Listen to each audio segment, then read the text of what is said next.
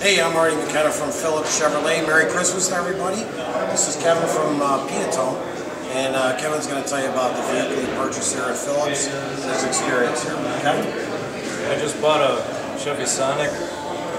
Went from 13 miles to the gallon from my Yukon to 40 miles to the gallon. Good deal. Appreciate your business. Have a nice holiday season. Merry Christmas. Thank you.